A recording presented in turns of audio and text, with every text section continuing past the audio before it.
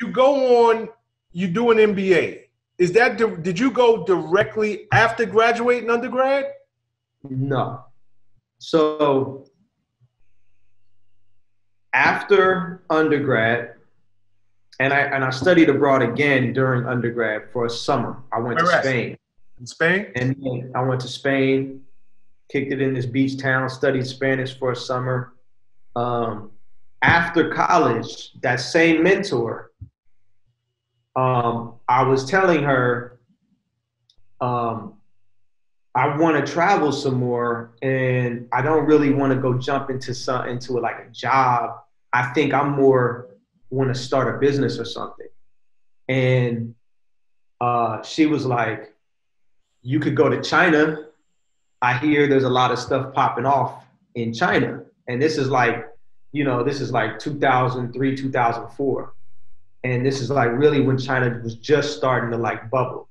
Um, and so I ended up going to China and teaching English over there. Okay. And so you, I would teach English for like four hours out the day, um, and then I was just, I'm just in China, and so I did that for a year.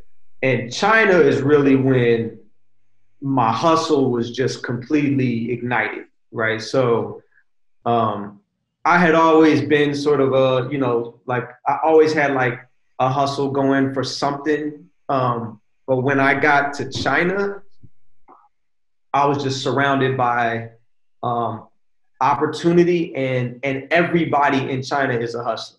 Like everybody in China got something for sale. Paint the picture and, for me. Give me an idea. Okay, well, look, like China is where everything is is made, right? It's it's the factory and the wholesale depot for the entire world right? So you get there and everybody has something for sale. I mean, anything you could possibly think of light bulbs, uh, toothpicks, plastic baggies, toothbrushes, you know, furniture, you know, like everything that's in your house, there's a factory in China that made that that makes the shit. Correct. And so um, you know, and so I get out there and everyone that works there is is um, everyone around you is somehow connected to international trade, and so I just start seeing stuff for sale that's cheap, and so one of the first things that I got I got drawn to was uh, I had some friends out there. I had found this small group of other like like black dudes out there A couple of them were like military or whatever, and they were buying uh, Jordans mm-hmm. and sending them back home. And I was like, Jordan, yo, Jordans? Because I know a lot of people want some Jordans. and so. Hold on, were these real Jordans or bootleg Jordans? What you think? what you think, man? what you think, right? So I got on that, and and you know I hit the guys back home, and I was like, "Yo, I'm about to just start sending y'all all these J's, and y'all move on, send me the money." And that was how I got started in understanding international trade. And I had to understand how to go to different factories I had to understand how to ship stuff. I had to learn about customs. I had to learn about moving money, uh, you know, cross border. Um, I, I, learned a lot of Chinese doing it, um, and um, and then that just like as that grew, you know, I wanted more, and I wanted to do something that was, you know, a little bit, you know, more legitimate, and you know, I wanted to do. I, I started seeing a vision of something much bigger. Um, How long were you in China? Uh, I was in China for about a year and a half. So within a year and a half, you go down there, you're teaching. Four hours a day, you're teaching. During your off time, some of your friends, they have a small time hustle sending J's back to the States. And yeah. this is what ignited, whoa, I am literally in a place that makes everything. I'm I was I was sitting I was at the I was the plug. I was There like, you go. oh shit, this is the plug. I'm sitting at, at the middle of the source of everything. Right? And so I just got juiced and that that just like lit me up and I was like, okay, I'm gonna be the plug. And uh I started with the Jays and I ended up after like a year and a half, I moved back to to the States. I actually moved to Miami for a while. And um you know, and I would I would go back and forth every now and then back to California or whatever. And I would always bring some Jays with me. I would just have a suitcase. I would put them in the trunk, and I would just pull up to the barber shop, or I'd pull up to the gas station, and I would sell sell sneakers.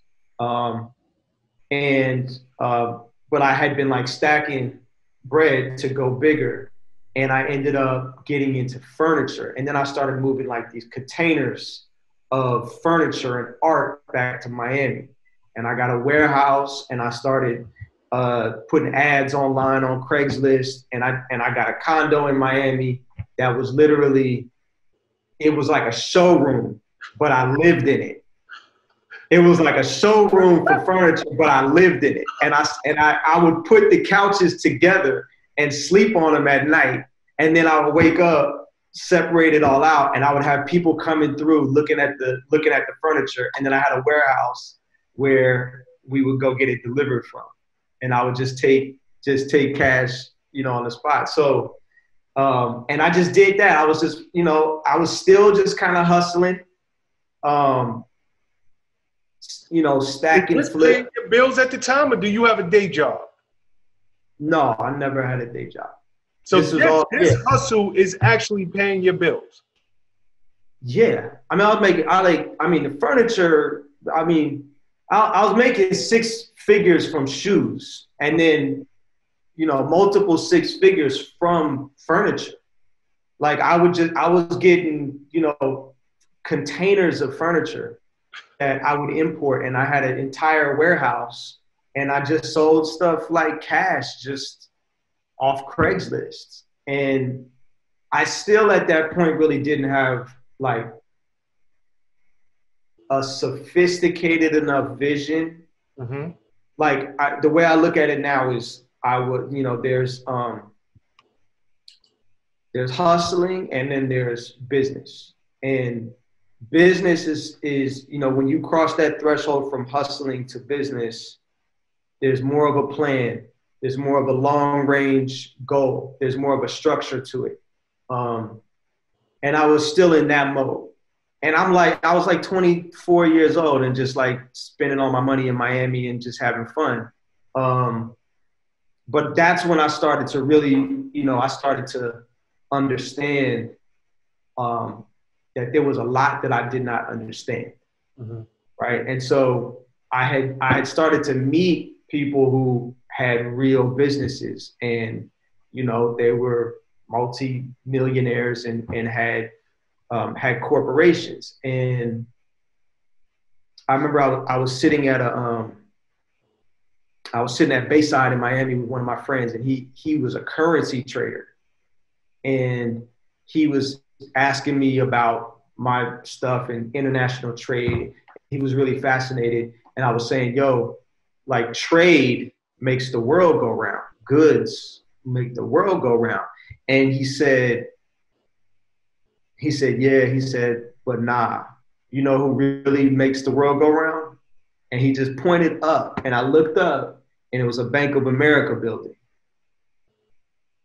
And I really had an epiphany at that moment that I don't, that's where the money moves. And I want to know who's in that building, and I want to know what they're talking about Mm-hmm. at the top. I want to know the business of money, not just the products and the goods. Um, and that really changed my mindset and made me start thinking like, okay, I want to go back to, I want to go get an MBA because I want to know who's in that room and I want to know what they're talking about. So it was that moment that changed your mindset completely. It really was. What's up guys? Thanks for sticking with me to the end of the video. Truly appreciate you. If you like anything you heard here today, go ahead and hit that subscribe button. And if you know anybody that can benefit from this message, feel free to share. Peace and love.